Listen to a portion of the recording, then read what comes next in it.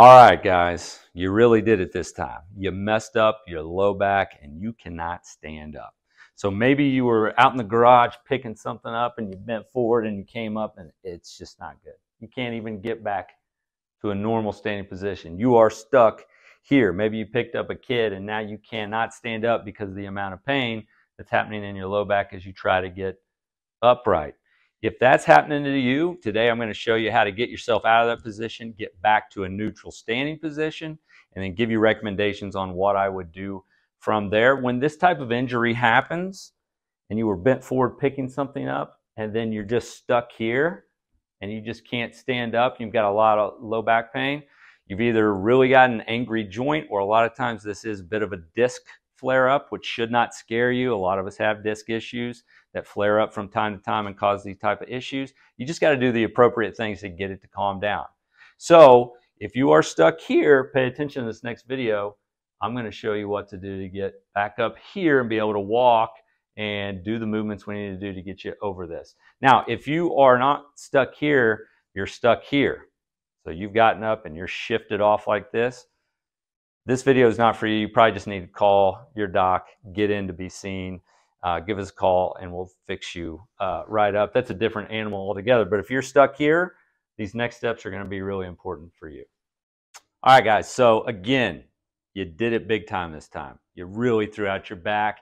You've got some disc in your low back that's super angry, and you are at a point where you cannot stand up straight without severe pain either in your low back or maybe it's going down your leg.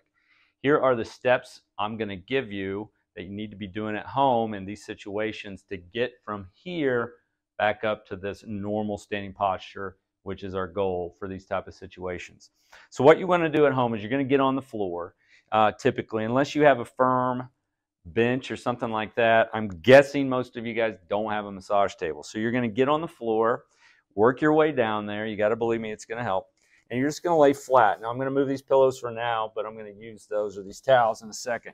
So what you want to see if you can do is just lie flat. So you're going to go all the way down and just lay your head on the floor. And now sometimes when you're in a tight spot, you can't even do this. You can't get flat because it hurts way too much. So we're going to come back to this step. What I have my patients do at home in this scenario is, in other words, they're so flared up, they're stuck here we're going to create a prop and put that below our waist. So I just have towels at the office. I don't have big pillows. At home, what I would suggest you do is get about four or five big pillows, stack them up, and create a fulcrum that you can lay your belly on. What this is going to do is now I'm kind of in that bent position that I was when I was standing up. So this is taking a little pressure off my low back and allowing me to stay a little pitched forward. So I would lay here for a couple minutes until that pain gets a little better. Now from here, what I can do is I can slowly begin to remove the pillows. So maybe we had five pillows, we're down to one, or down to four, and then we're down to three. And so over the course of five to 10 minutes, maybe longer, we've gone from this position to where we're almost flat and we can remove that last pillow. Now we're flat. Some of you will be able to start here, some of you won't. Now we're flat. So what we want to go from there is see if we can just prop ourselves halfway up on our elbows. So now we're in a little bit of an extended upright position, non-weight bearing on the floor.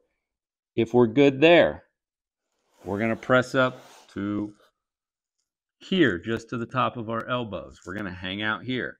Now what you might find helps is just to kind of come down and up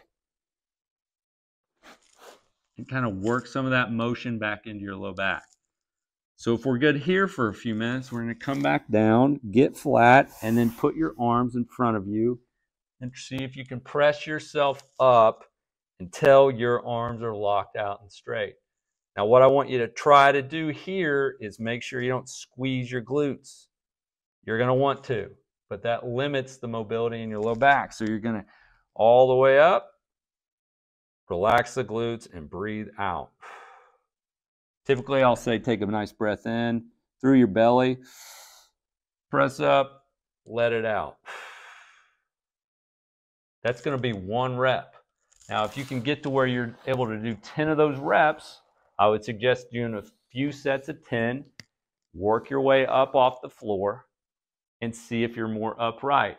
Majority of the time you will be. At that point, we want to transition doing the same motion and standing. So your legs are going to stay straight and you're going to lean back as far as you can. This will make it harder because now you're weight bearing. Typically, it's a little tougher.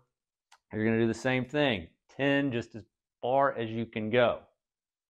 And then as you do this more, you'll notice you're no longer pitched forward and you've essentially worked that soft tissue forward to where you're now standing up straight. From here, what you want to do is stay active. Walking is good in these scenarios. People run into problems when they go sit in their recliner for two days and then they can't get up. You're typically in a worse spot after sitting than you were if you just would have stayed upright and walking around. So those are the steps.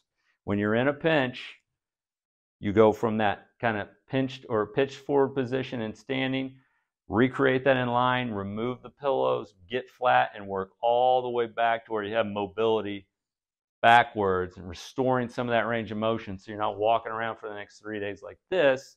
You're more upright. And once you are upright, you just want to continue doing the standing extensions if those are working for you, about 10 repetitions an hour. And then you probably need to call your chiropractor and make sure everything's all right. So hopefully this helps you guys, get you in the right spot after one of those bad mornings or bad evenings of lifting something the wrong way. Uh, if you ever have questions, 309 1996 here in Lexington, Kentucky, give us a call and we'll talk to you soon.